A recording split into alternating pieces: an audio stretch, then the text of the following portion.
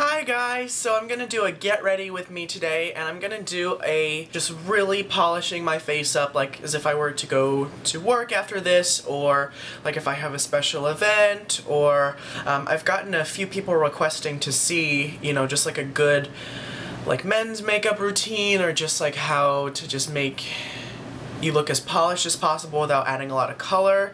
So I've already cleansed my face and I shaved. So the first thing that I'm going to do, and I do this every single time that I shave, which is most mornings, I take Paula's Choice Skin Perfecting 2% BHA liquid and this goes everywhere that I shaved, which, um, and, and I concentrated on the areas where I would tend to get clogged or bumps or burn or irritation. So that's always going to be on my chin for me. Um, I also can tend to get a little clogging on my upper lip and then I take my remainder over the rest of my face onto my neck and a touch on my forehead. Um, this is also great to do in the morning uh, if you have larger pores or very visible pores because this will help to kind of unclog those and your pores will get back to normal size. But for me this is like a godsend as far as preventing ingrowns or burn or bumps or anything like that from shaving. And I, like, I kid you not when I say that I use it every single time that I shave, which is most mornings. So, um, but I still have like at least half left. I'm perfectly fine on that. And I'll tell you a little secret too, it's kind of gross, but I kind of put a little bit inside my ears because I can get like blackheads and stuff in there, which sounds really gross, but I um, put it inside my ears and I put a little behind my ears too.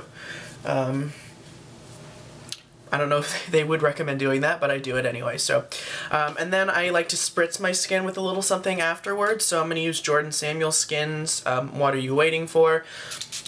This is just a bunch of floral um, waters essentially, and that's going to help to kind of helps calm the skin down a little bit. It's just a nice like little refreshing boost. Um, and it's a nice little addition of glow, which we can always use a little bit more of, right? Every single one of us, let's be honest. Um, the serum I'm going to use, um, I went ahead and just grabbed a few things just because my skincare is over on this dresser to the right of me. Um, well, your left, I guess. Um, so I went ahead and just grabbed a few things, but I'm going to use Kate Somerville's um, Mega C Dual Radiance Serum. I usually use my vitamin C products during the daytime. There's no reason you can't use them at night but uh, for me I kind of want them on in the daytime for some glow.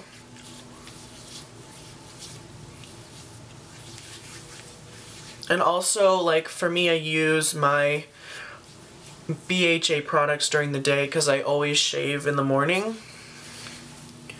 What I usually actually do is if I'm using an electric razor, I'll shave before I even get in the shower or get my face wet when I wash it or anything like that. Just because my skin tends to be a little drier in the morning because my skin is is dry. So when I have drier skin, it helps the electric razor glide over the skin a lot better um, and there's no tugging and there's less risk for me when I do it with like a drier face to get like ingrowns or burn or irritation if than if I were to do it where my skin has a little bit of moisture on it. Um, but if I'm doing like regular ra uh, razor shaving with shaving cream and that sort of thing, then I'll do it after I'm out of the shower. So there's a little bit of that. I need eye cream this morning, that's for sure. I'm going to be reaching a lot for stuff, so just be prepared. I'm going to use some Sunday Riley Start Over because this is truly... Now I do feel like when you massage it in, it really helps get the circulation going. So I'm not putting a lot of pressure, but I'm really just massaging the skin and I'm not... You okay?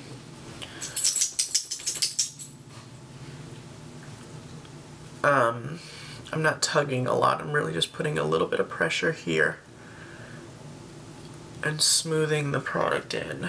And that's going to really help get... See? Brighter face instantly. Look at that. I guess. Let's see. I want to use a bit of oil too. Yeah, I have a little sample size of this Kate Somerville Dilo, Dilo oil. Delo. Just gonna do, that maybe isn't supposed to happen. Anyway, I'm just gonna do a few drops of that.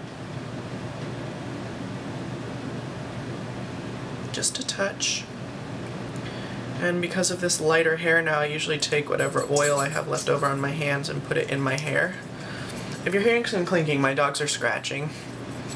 And their collars are... Mmm, smells of coconut.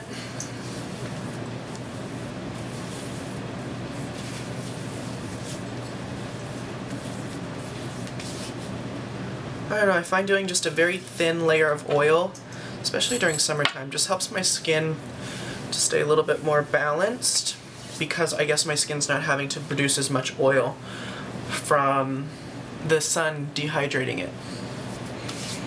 At least in my experience. Okay, and then funny enough, I'm going to go in with a balancing moisturizer from Amorevicha. Amorevicha. Amorevicha. Amorevica? I don't know how you say it.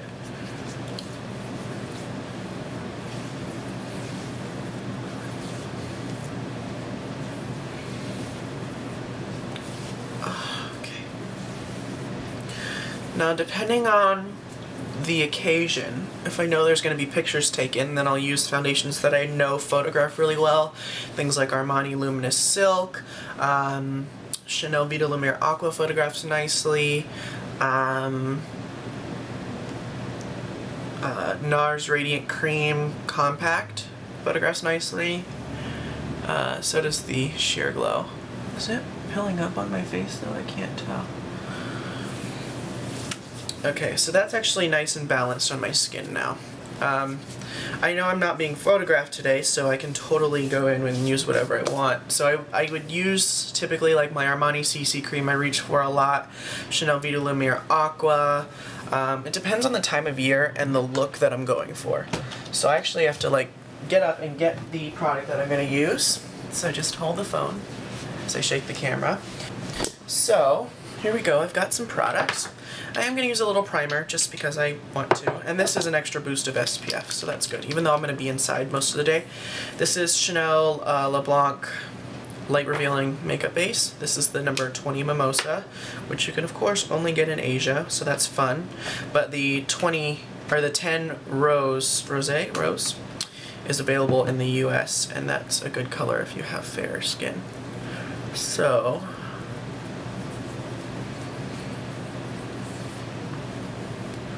fair skin and you don't mind a pink glow.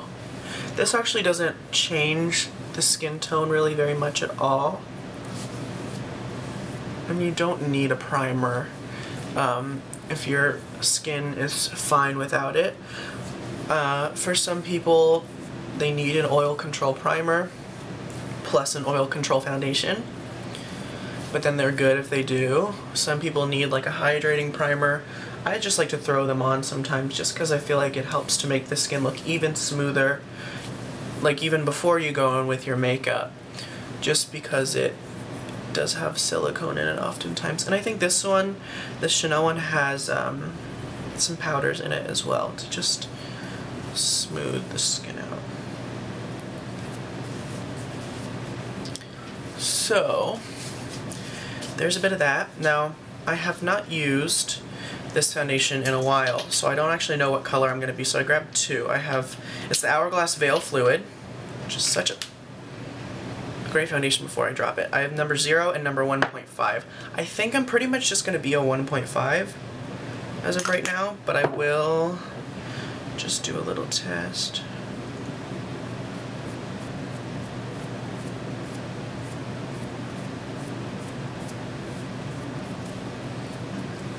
Hard to.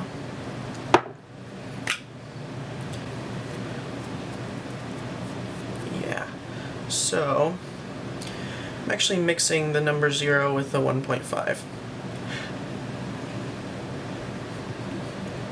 And hopefully we'll end up with a color that is pretty much my face. Rightio, so I'm going to use my BYS foundation brush, pretty much my favorite thing in the world. I'm just to have to hold my mirror like this. So, I don't like a lot of coverage. So that's usually why I use thinner coverage products and just use them regularly rather than a thicker coverage product or a heavier coverage product sheared out. Just because I feel like it's much more work. And I tend to be pretty heavy-handed too. So I, you know, out of sheer laziness and I don't know, you can't really overdo a thinner coverage foundation for the most part. There's some of them you absolutely can, but for the most part it's it's it's trickier too to do that. So and I love this foundation brush because you can apply and then kind of almost buff at the same time. But I like the flat shape of it because it allows you to get around the eyes, you know, easily. I don't even know if this color is going to work for me. We'll pray that it does.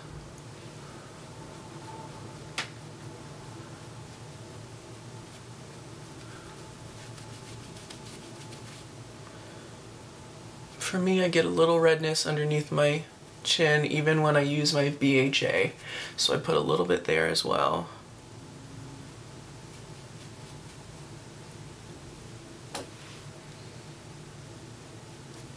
Talk about how tiny this mirror is. This is what I'm having to work with for the time being. Because my good um, Spotlight mirror is in New York. In a storage unit somewhere. Until I get back.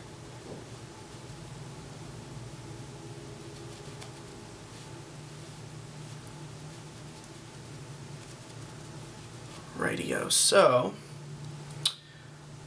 that's applied. Now I like to go in and just give it a little blend afterwards regardless of the brush. I'm going to use an Hourglass number two because I had one handy, but any buffing brush will be fine. But I like to make sure that I buff over it, especially anything that's like silicone based or thicker in general as far as like coverage goes or texture. I mean like higher coverage or thicker texture. Just because I want everything completely seamless and as thin of a layer as possible that way it doesn't look like makeup at all. I, I never really have anyone say to me, oh my god, your makeup looks so good. It's always your skin looks good because I really work hard to make the makeup look as imperceivable as possible while still creating impact. You know, obviously we want people to know that we look good and we want to take the time to do the makeup, but then if I have a little bit left over, I will just go in just, you know, apply a little bit more in areas where I want to do a touch more coverage. Now when I'm not talking, I can totally get this done in, you know, three seconds flat, basically, you know. I mean, not really, but, you know. Um, it doesn't take me as long. But since I'm talking you through it, it's going to seem like it's a longer video usually what takes the most time is trying to figure out what product I want to use, you know, based on the occasion or the, the location or whatever. Like if I'm going to be outside all day, I'll use a higher coverage SPF foundation or a really long wearing one. If I'm going to be indoors and it's cold, then I'll use like a really moisturizing foundation. So it just depends. And I think it's important, I think for most people who wear face makeup, it's important to have more than one foundation because you never know just like it's it's important to have more than one skincare product per category. You know, you never know what your skin is going to be doing, what the weather's going to be like. You know, of course your face can change seasonally. You know, as far as getting dry during the winter and getting oilier during the summer, but you never know. It could be like I don't know. Even if you're outside in the winter, you're still going to be exposed to sun. So. Um, Okay, that looks good. I'm gonna go get concealer. See? This is why I need to be back in New York, like with a desk set up with my makeup in a desk, in front of a window, so I'm not having to like use desk lamps as lighting. Um, soon enough, I believe soon enough. So I would do my concealing if it's just underneath my eyes. If it's on my face, then I'll usually do everything else first and then go about it. So this is my YSL Touche Éclat.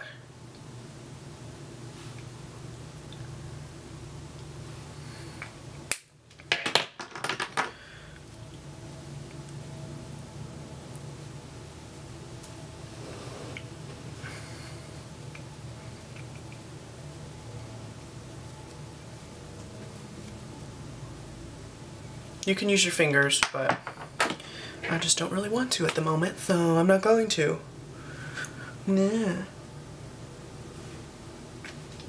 I'm a little tired.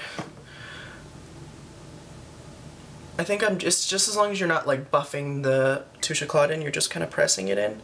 I think it's fine to just use a brush. And that's why I like this brush too. It's not super dense, so it doesn't like drink up all the product. Right, so I'm actually gonna do the makeup for you that I do like when I wanna look a little extra good because there's like some days where I wanna look like I'm really trying hard. Um, so I'm going to use Tom Ford Shade and Illuminate. This is like my special occasion product. Um, I don't use this on a regular basis. I like to save it. And you know, so what I'm going to do, here we have it, I'm going to take my e.l.f. Studio Blush Brush, and then I'm going to very gently, I don't want to do an extreme sculpt. I never do an extreme contoured look, and I cannot wait for the day where this whole contouring nonsense goes out the window and never comes back. Just like, I don't know, over powdering the skin like that was done in the 90s. Remember that? How everyone was just like, I mean, the quality of powder wasn't as good back then either, but this whole like heavily powdered look has kind of gone out of style, and I hope that's what happens with contouring too, because I've just had it up to here with this like drag contouring, because it doesn't flatter anyone, and drag queens do it to make themselves look more animated and to dramatize the fact that it's not a woman under all that. They do it as a way of exaggeration. So, I don't know when women decided that it was a good look. Because drag queens are performers. They're artists nonetheless, but they are performers. They're under hot stage lights where they're washed out, so they kind of need to do it. Anyway, I digress. But I do this Tom Ford Shade and Illuminate when I want a very gentle sculpt. If Because the color is not that great. It's really not as gray as I would like it to be. Now, my, my favorite sculpting product in the whole world, I, I believe it's discontinued, and I think the, a close second is something from like the Laura Mercier contouring palette or the Cover FX. Cover FX does really good colors. Um, it, this is MAC Pro Sculpting Cream and Coffee Walnut. As you can tell, this is well loved. This is super gray. So when you compare that to the Tom Ford, you can see it's much more gray. So it looks much more like a shadow, but I want to do that and save that for when I really want to have like a very well-defined face that still doesn't look extreme in the contouring and it doesn't look like I've contoured my face, but it just is a little bit more intense than this. So that just adds a touch of shade. And then I always go in with like a really thin, wimpy foundation brush to do the highlighter. So like the e.l.f. $1 one or the MAC 190. Compared to the BYS one, it's much more thin and flimsy. So I like it for this, the highlighting product. It's, it's almost like, I mean, this Tom Ford Shade and Illuminate brush is almost like a very thin, flat foundation brush. I just haven't picked that up. Because first of all, Tom Ford brushes are expensive they're high quality, but I mean I have other brushes that work just fine that will do the same thing. Um, but I love a flat, thin foundation brush for that. Um, so just because you're really smoothing the product on,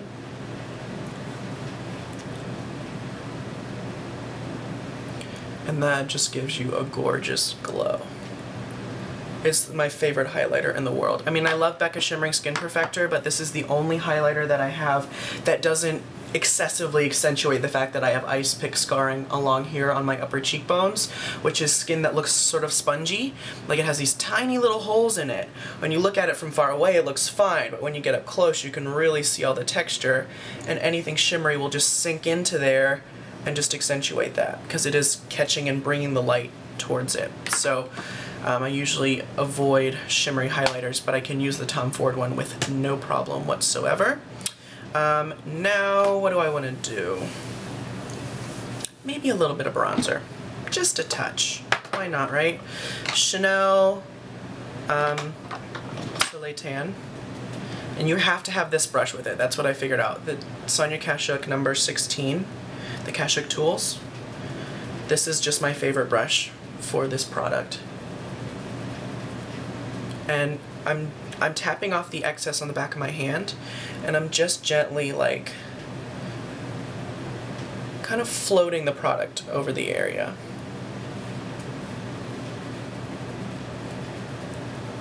Now for me, because this center of my forehead, or in between my eyebrows, is always lighter than my face, like I haven't done any actual highlighting here, my face is just naturally lighter in that area, I guess by my bone structure. I like to do a touch of bronzer there, just to even out the tone so I don't look so highlighted, um, just because that can be a dead giveaway that you've got makeup on. And that's another reason why I like the Tom Ford highlighter and contour is they are not excessively pigmented products on their own. So it's a little harder to overdo it and therefore you won't look so made up. Um, especially if you are a man and don't want to look like you're wearing makeup. Um, those are good products for sure. Next we have a touch of powder. I'm going to use Hourglass Dim Light, which is like my go-to for really just wanting to polish out the skin and I don't do a lot. I just really do it in the center.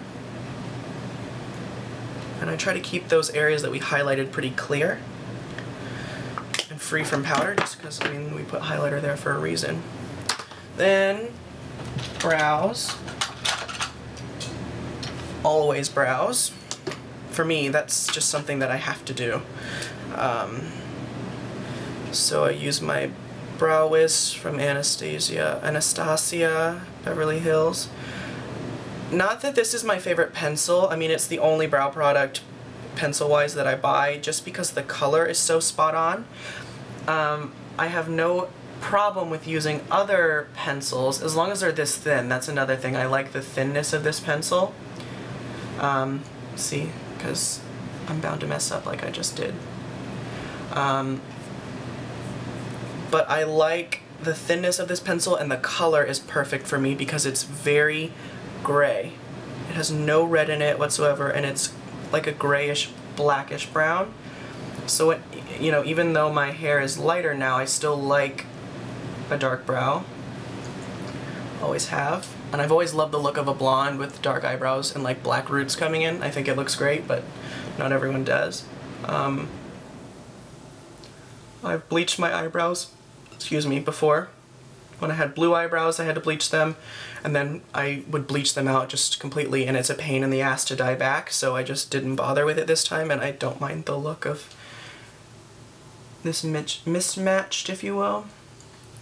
Um, but yeah, I'm not against any other eyebrow pencils, I just haven't found one that I really like that is this thin and has the color right because all of them just go too light for me. I really like a dark brow pencil that matches my natural hair color, um, which is this color essentially.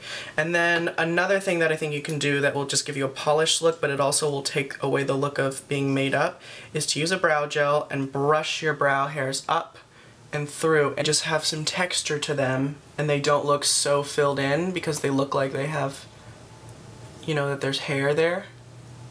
And then I like to brush through after I've done the brow gel with just a clean spoolie. And then I'll brush that through and disperse the product even more so I have no chunkiness. Because I love the NARS brow gel and it's lasted me forever. But at the same time, it the brush um, gets very goopy very easily. Like the method, method that they use to wipe off the product isn't as good as it could be. So I always have to go through and brush that off. But I like to do my brow gel always after I've done powder. That way you're not getting any powder in your brow gel. Um, let's see, what else could I do? I like to do, let's see, I'm just gonna take, yeah, so I'm gonna take whatever's left over. I should have done this before my brow gel. See? See? Even I mess up. I just take this bronzer brush and I run it over my eyelids. And this is my secret to everyone. I tell this one in stores all the time. And if you run a little bronzer over the eyelids with a large brush, you have to do it with a big one. That way it becomes less directional and less sculpted. It just gives the eyes a bit of warmth, a little bit of shape, a little dimension, some sculpt. So now my products are basically sunken in. I want to just give a quick spritz just to finish it off. This one's pretty much empty, of course. And then sometimes if I really need my makeup to last, I'll go and hair dry my face really quickly afterwards. That way it'll like kind of force the liquid to dry down and it'll just strengthen the film formers or that are in whatever I've just used, which is most everything. Let's just be honest with makeup now, that's how it goes. If I want to do a little thing to my lips, I will usually take, I have two favorites. One is a little bit more dramatic than the other, so I'll do my very soft everyday one. Um, Makeup Forever Aqua Lip, or Aqua, yeah, Aqua Lip in 1C. This is like the perfect color for me. I do it on the outside.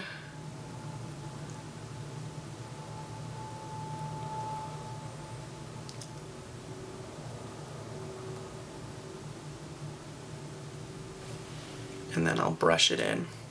I'm going to use the other lip pencil that I use is the Hourglass uh, Panoramic in Eden. That one comes with a brush. This is a touch more gray, the Eden, so it gives me a little bit more of a dramatic sculpted look. Whereas the uh, 1C from Makeup Forever just gives me a very... It just um, emphasizes my natural lip color, my natural lip line by just enhancing it a little bit more without adding a ton of color and I'll throw a lip balm on top of that or like NARS Dolce Vita lipstick or um, I'm really into Hourglass either Reflect or Ignite lip extreme sheen lip glosses. So I'll actually throw one of those on. Now I'll do the Reflect because that one's basically clear. But they feel like a lip balm and they don't give any stickiness at all. And they also don't give a ton of color, these shades. The other ones, some of the other ones do. Um, but this is just to finish off the lip and then and then okay so I think to keep this looking masculine since again we're if we're stereotyping things um, avoid doing any color on your cheeks any color on your lips and any curling of the lashes. Because lashes and lips are the first things that usually define a woman and just you know I guess for forever now. But um, if you keep your eyelashes straight and you don't do any blush or any like lip color it'll it'll keep it looking very polished professional.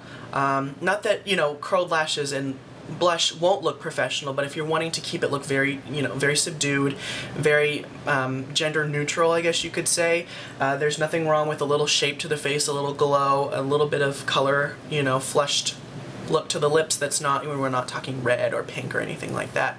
But this, this look overall, if you ever see me where I look really good or whatever, um, if we can just say that, this is usually what I've done, is um, this is usually the kind of steps that I'll take. And it just gives the face a finish, it polishes it off, it gives it a glow, um, and then you can either, you know, chase it with like a, a setting mist.